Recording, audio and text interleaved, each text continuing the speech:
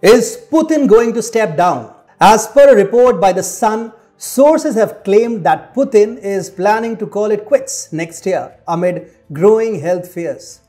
A political scientist from Moscow, Professor Valery Solovey, has sparked speculation by suggesting Putin may have symptoms of Parkinson's disease. Solovey also claimed that the Russian president's 37 year old girlfriend Alina Kabaeva and his daughters are also pushing him to quit. The academic said there is a family, it has a great influence on him. He intends to make public his handover plans in January. But is Putin really going to resign? It seems rather unlikely because one, such rumors about Putin's health have been doing the rounds for quite some time, but without much substance. And two, Russia and the entire world are going through a transitional phase and Putin is unlikely to step down at this juncture. The latest speculations about the Russian president's health have led to media outlets across the world predicting Putin's resignation.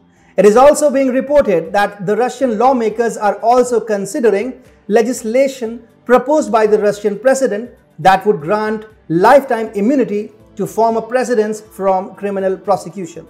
The Sun has also reported that observers studied recent footage of Putin and noted his legs in constant motion even as Putin looked in pain, clutching the armrest of a chair. Observers also claim that Putin's fingers were seen to be twitching as he held a pen and gripped a cup supposed to be containing painkillers.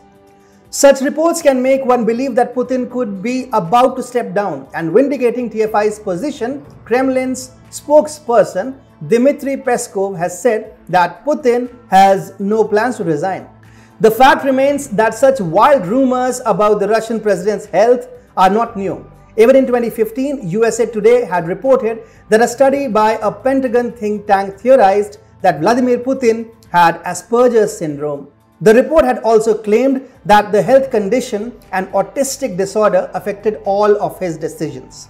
More than five years down the line, such so-called health conditions do not really seem to be making a difference even as Putin discharges his functions as the president of the Russian Federation.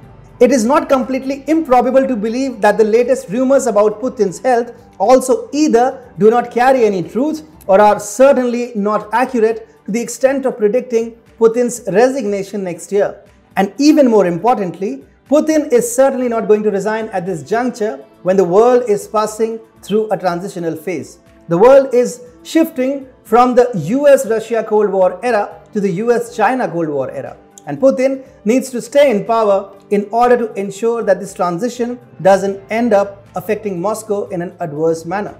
In fact, the Russian president does realize that Xi Jinping is in for the long haul in Beijing even as China looks to eat up into Russian space in Central Asia and Eastern Europe. At this time, Putin cannot leave his country in weak hands as Jinping could emerge as a real strongman trying to wear down Russia. To be precise, it was only after Xi Jinping's bid to become the leader of China for his entire lifetime with an amendment in the constitution in 2018 that Putin pushed constitutional reforms that allow him to stay in power till 2036. Putin is therefore here to stay in a bid to take on China's strongman Xi Jinping. The changing geopolitical climate is actually an opportunity for Russian President Vladimir Putin to negotiate a better place for Russia in the existing world order. But for that, Putin has to stay in power. Any weak Russian leadership would be nothing less than a death knell for Russia as it wouldn't be able to take on the Xi Jinping regime in Beijing. Russia needs Putin to stay if it wants to take on the Chinese threat. And this is why we can expect the Russian president to stay regardless of the rumors around his health and retirement plans.